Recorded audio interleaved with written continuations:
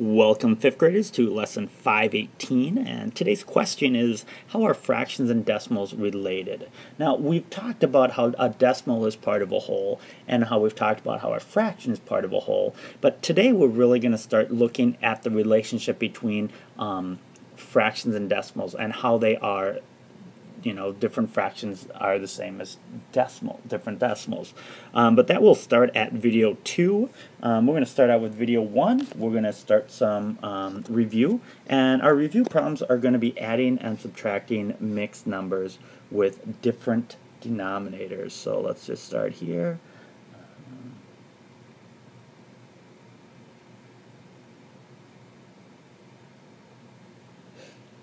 So we got 4 and 1 third plus 2 and a half.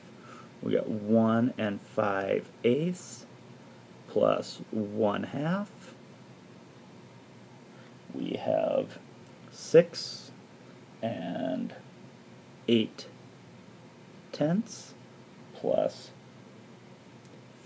oh, minus, uh, sorry about that, less um, 5 and 60 one hundredths and our final problem is 6 and 5, oops, 6 and 3 fifths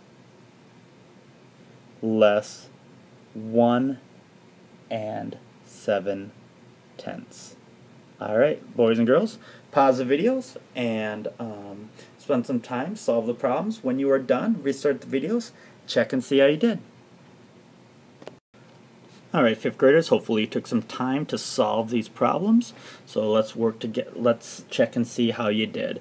One third, we've got one third and one half. They're going to meet at six.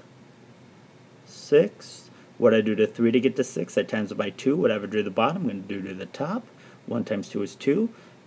Two times three, whatever I do to the bottom, I do to the top. One times three is three. Now, now got the same language here. So language is going to be 6. 2 plus 3 is 5. 2, 4 plus 2 is 6. 6 and 5, 6. Alright, we have 1 and 5 eighths plus 1 half. Common language where they're going to meet is going to be at eighth. 2 times 4, so it's going to be 1 times 4. And that's going to be 4. Common language here. 5 plus 4 is 9. 1. Now, here I have a mixed number with an improper fraction. That cannot happen. So I have to figure out how many wholes can I take out of this. Remember, one whole is 8 over 8. So I'm going to subtract 8 over 8 eighths, or 1 from that. And I'm going to take that and move that over here. So that's 2.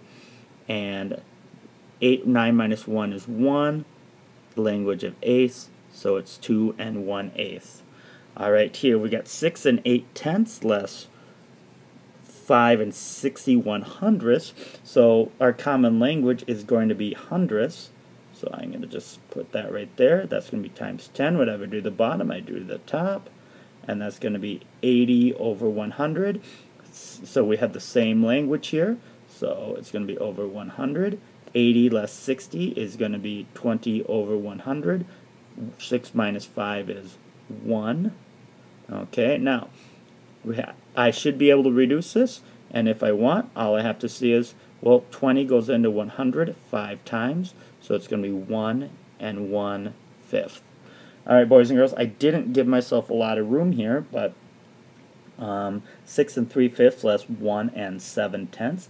Common language is going to be tenths, so 10. What do I do to 5 to get to 10? Times 2. Whatever I do to the bottom, I'm going to do to the top, so times 2, and that's going to give me 6. Now, 6 tenths less 7 tenths, I cannot do it. So I have to go to my neighbor, borrow some sugar, so 6 becomes 5. And I'm going to add 10 tenths to here. And I'm going to slide that up here just because I didn't give myself enough room. 10 tenths equals 16 tenths. 16 tenths less 7 tenths I can do. My language is 10. 16 less 7 is going to give me 9 and then 5 less 1 is going to give me 4. So these are our answers, boys and girls. We've got 6 and 5 6, 2 and 1 eighth, 1 and 1 fifth. Now, If you got 1 and 21 hundredths, you're close, but we just have to take that next step. And then finally 4 and 9 tenths. All right, well that's that's the end of video 1. Let's uh, get ready for video 2.